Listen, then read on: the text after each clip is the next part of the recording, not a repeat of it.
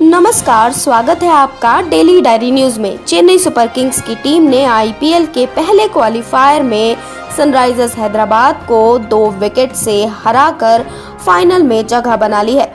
इस जीत में सबसे अहम भूमिका फाफ डुप्लेसिस ने निभाई, जिन्होंने सड़सठ रनों की नाबाद पारी खेली। इस मैच में जीत दिलाने के बाद जब डुप्लेसिस को मैन ऑफ़ द मैच का इनाम मिला तो उन्होंने महेंद्र सिंह धोनी पर अपना गुस्सा उतारा। जी हाँ आपको बता दें कि डुप्लेसिस का ये गुस्सा उनको आईपीएल में कम मैच खिलाने के मौकों की वजह से सामने आया।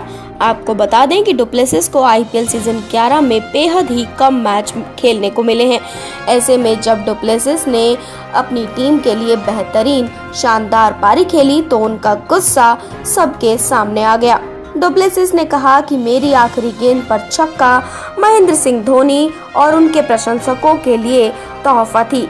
वो हमेशा ही इसी अंदाज में मैच को ख़त्म करते हैं। आज मैंने उनके लिए ये किया है। मैं खुद को कप्तान के सामने साबित करना चाहता था कि मैं अच्छी फॉर्म में हूँ और मुझे प्लेइंग 11 से बाहर ना निकाला जाए। उम्मीद है कि वो मुझे फाइनल में भी प्लेइंग 11 का हिस्सा रखेंगे।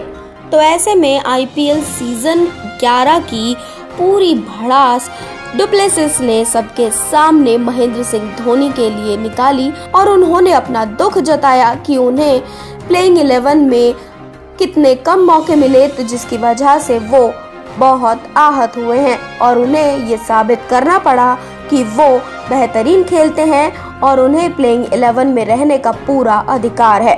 तो इसीलिए उन्होंने धोनी से कहा कि वो प्लेइंग इलेवन में फाइनल में भी रहना चाहते हैं और वो अपने आप को साबित करके दिखाएँगे।